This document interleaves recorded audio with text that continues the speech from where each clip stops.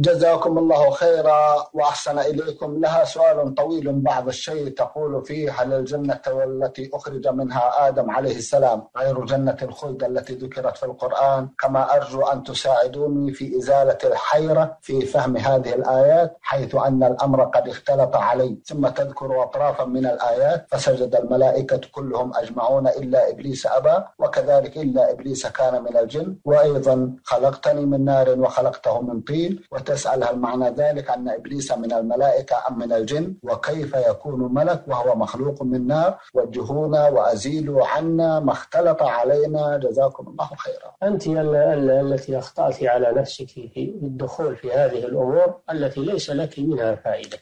هذه الأسئلة ليس لك لك منها أي فائدة. لو سألت عن أنواع التوحيد عن شروط الصلاة وعن شروط الوضوء ونواقض الوضوء وسألت عن أمور دينك لكان هذا هو المتعين وهو الذي فيه الفائدة. أما الجنة التي أخرج منها آدم هل هي جنة الخلد أو غيرها؟ هل إبليس من الجن أو من غير الجن؟ فماذا تستفيدين من وراء ذلك؟ فعليك بترك هذه الأسئلة والاشتغال بما فيه نفع لك ولغيرك من أمور الدين وأمور العقيدة. نعم. إذا أذنتم لي شيخ صالح يبدو أن صاحبة الرسالة من صاحب صاحبات الاطلاع يبدو أنها قرأت هنا وهناك ومرت عليها هذه الأفكار وهذه الملابسات وحينئذ تسأل عن الصحيح جزاكم الله خيرا. نحن لا نريد أن ندخل في هذه الأمور لأنها ليس فيها فائدة لا لها ولا للمستمعين. طيب. ونوصيها ان أن تكف عن هذه المطالعات. طيب. وأن تطالع ما ينفعها طيب. في أمور دينها. نعم. جزاكم الله خيرا وأحسن إليكم.